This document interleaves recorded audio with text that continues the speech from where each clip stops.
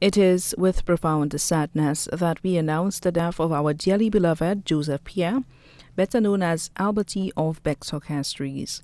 He was born in Lagoas Library on May 5, 1928, and passed away at his residence in Bexon on Saturday, 1st August 2015 at approximately 5.05 a.m. He was 87 years old. The funeral arrangements will be announced in a subsequent broadcast. May he rest in peace. The body now lies at Rambali's funeral parlor, Castries.